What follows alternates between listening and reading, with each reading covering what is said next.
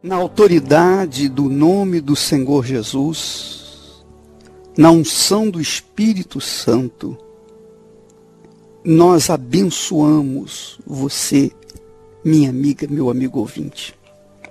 Não importa a sua religião, não importa a sua condição social, não importa a sua raça, não importa a sua opção de vida, de sexo.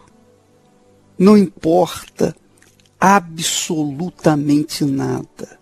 Se você é gay, se você é lésbica, se você é uma pessoa do bem ou uma pessoa do mal, não importa nada disso. Porque Deus quando olha para você, ele vê em você um ser humano, uma alma, uma alma carente, uma alma aflita. Você, quando nasceu, você não nasceu dessa forma como está hoje. Vida destruída, fracassada, acabada. Não. Quando você nasceu, você nasceu como todas as crianças, inocente, pura. E Deus vê você como uma alma que, por conta das circunstâncias, tem feito de você uma criatura sofrida. Mas Ele enviou Jesus a oferta das ofertas, o sacrifício vivo, o dízimo de Deus, para estender a mão para você agora, aqui e neste momento. Então, em nome do Senhor Jesus, seja livre, seja livre dessas mazelas, dessas aflições, dessas angústias. Seja livre dessa turbulência que envolve a sua vida. Porque em o nome do Senhor Jesus, nós temos acesso, ou direito acesso, à presença do Deus Todo-Poderoso, o Eterno Pai. Portanto, em o nome do Senhor Jesus, Seja livre, seja abençoada a sua vida, a sua casa, o seu trabalho. Em o nome do Todo-Poderoso, seja livre e quem crê diga amém e graças a Deus.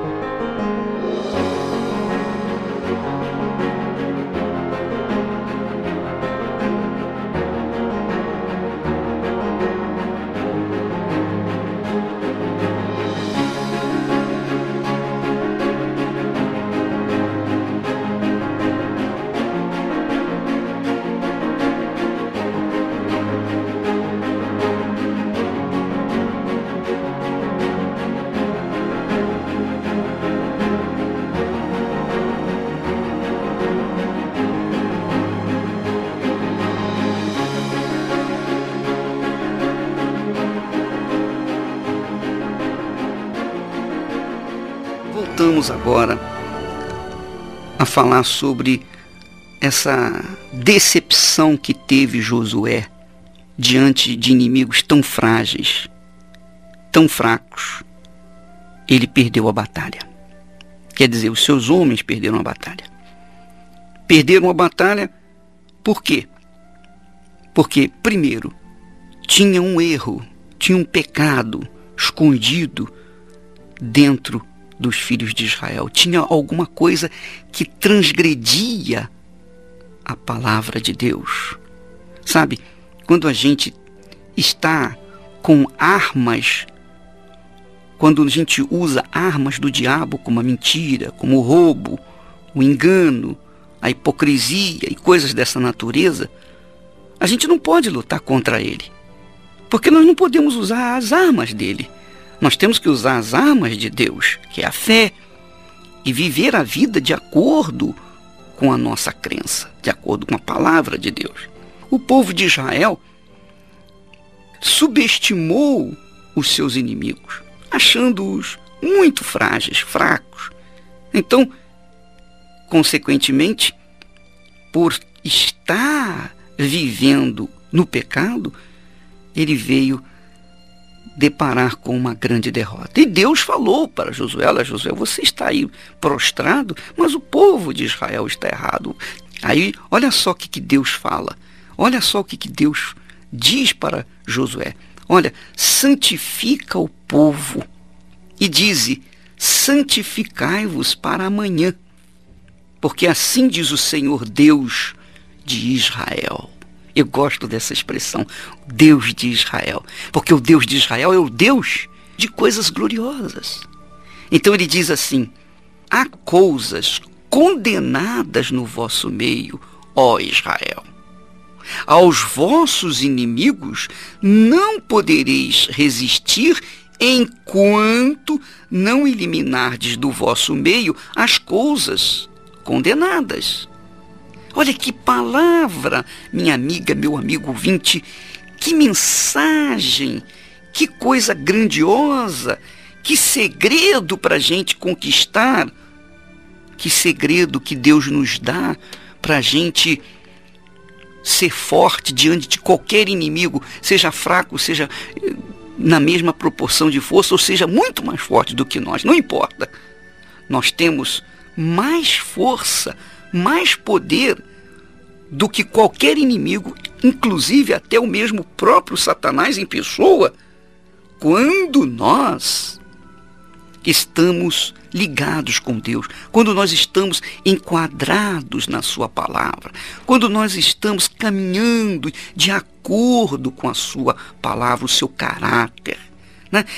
caminhando de acordo com a integridade, com o comportamento exemplar, vivendo a vida pautada na palavra dele, nos conselhos dele. Você sabe, a palavra de Deus é como uma receita, minha amiga, meu amigo ouvinte.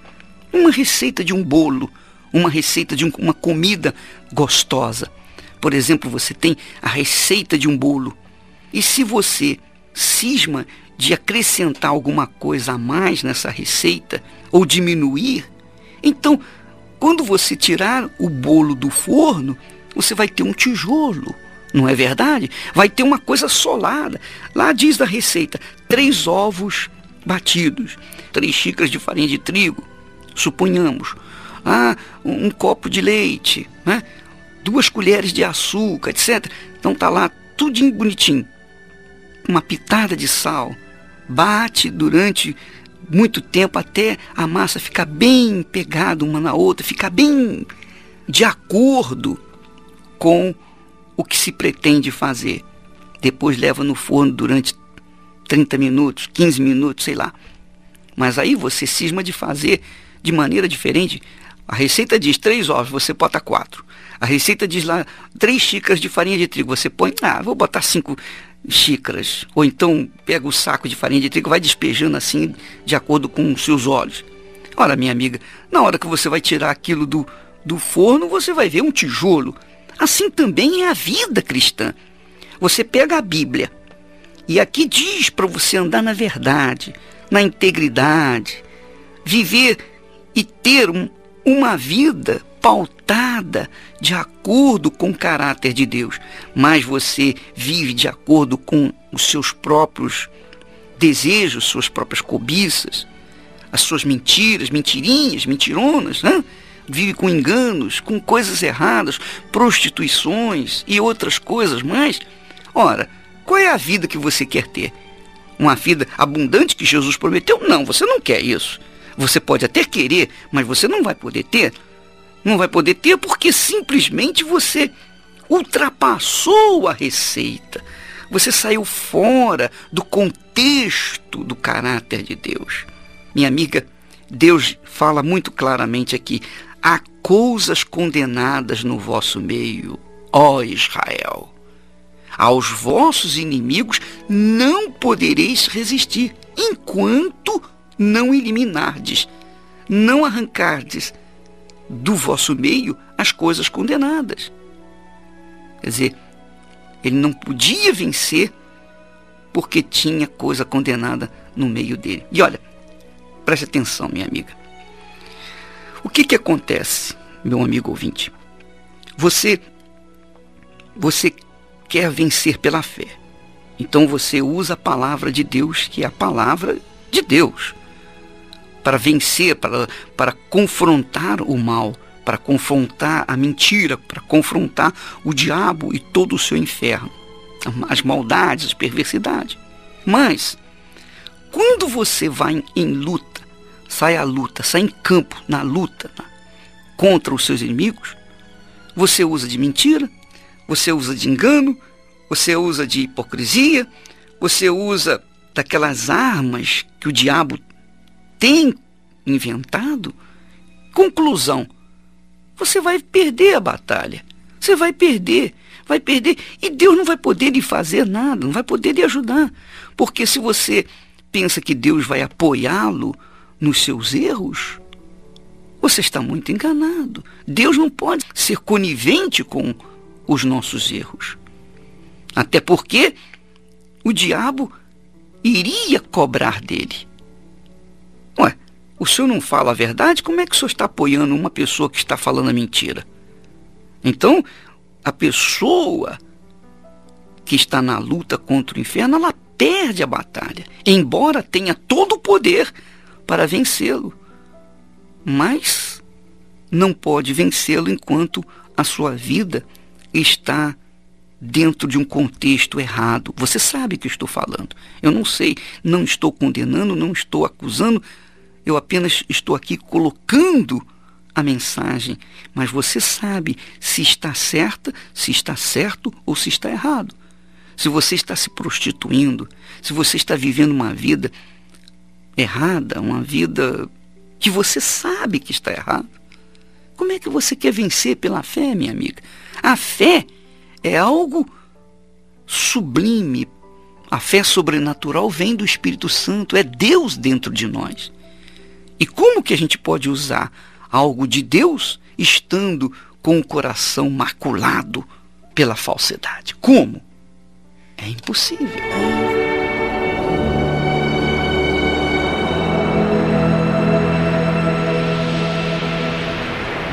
Eu cresci em meio a muitas brigas, né, vendo meus irmãos brigarem. E com isso eu fui me tornando uma pessoa agressiva, triste, angustiada, deprimida. Né, é, não, não tinha felicidade por ver a minha família daquele jeito. Né? Sempre brigando, na hora do, do jantar, ela, ela, aquela, era prato, era panela que voava. Então eu ficava, eu, eu cresci vendo isso. Né? Então com isso eu me tornei muito doente. Né? Eu não tinha ânimo para nada, não tinha vontade de sair de casa, né, com isso. Fui me tornando muito dependente da minha mãe para tudo, né? E eu passei a, a, a, ter problemas, depressão, né? Tomava remédios fortes, que ela me levava ao médico e os médicos me davam remédios fortes, né? Eu tomava esses remédios, não não tinha melhora nenhuma. Eu achei que casando eu ia, né, ia solucionar, os meus problemas, né? Mas não foi assim que aconteceu. Foram piorando. Aos 18 anos de idade eu me casei e a situação continuava a mesma. Eu era muito agressiva, muito doente, muito nervosa. Qualquer coisinha eu brigava com meu esposo, com os meus filhos. Tinha fortes dores de cabeça constante né? É, onde eu tomava vários medicamentos e não tinha solução não tinha remédio que curasse a dor de cabeça, né? E com essa dor de cabeça vinha vômitos, né?